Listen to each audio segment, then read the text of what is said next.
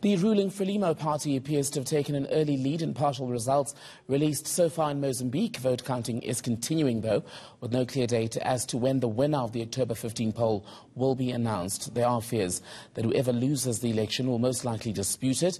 The European Union Observer Mission has already highlighted what it says was an uneven playing field during the poll. Fatima Mimbire is a journalist based in the capital, Maputo, joining us live now from there for an update. Fatima, very good afternoon to you and thank you for your time. So I was talking to the potential for a dispute over this election and its outcome, and that's already happened because the opposition, Renamo, is saying that there was indeed election fraud. Yes, uh, thank you very much for having me. Um, there are some concerns related to this uh, uh, result.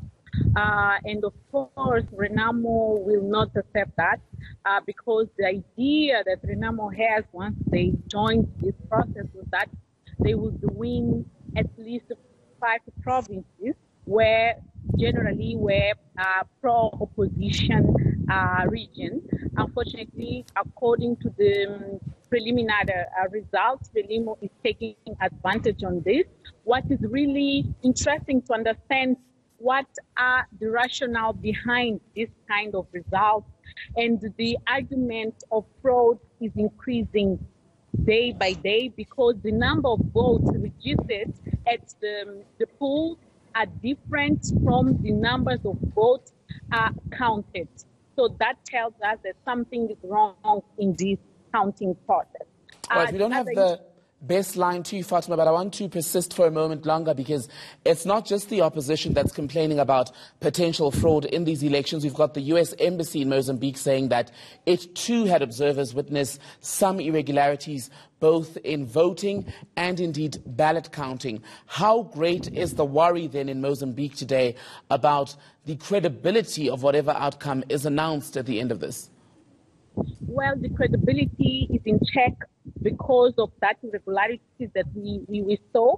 The main irregularity that tells us rationally that it's not possible is the number of votes at the, the, the polls and the number of votes counting. And I, I have to remember here that the main problem related to our electoral process is uh, the counting process because it's where some data are being changed.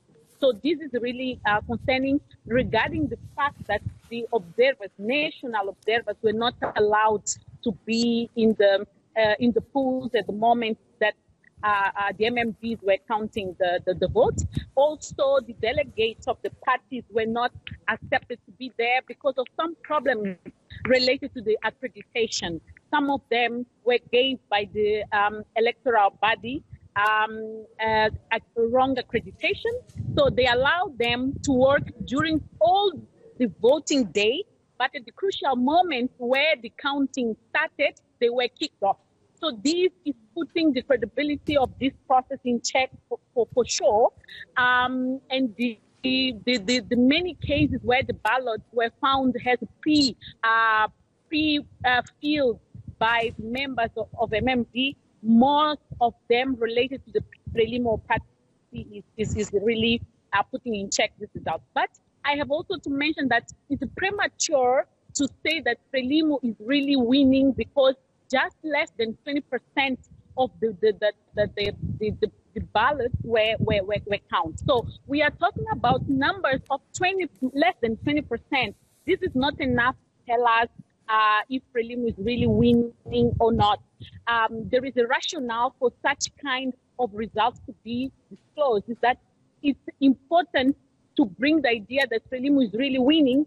But if you see, for example, in Nampula, where just processed 5% of the total vote, so this is not enough to say that Frelimo is really winning. The, now we have to discuss is how the process was, why we had all these irregularities, how the uh, the justice will deal with all these irregularities that were um, arose uh, during this process.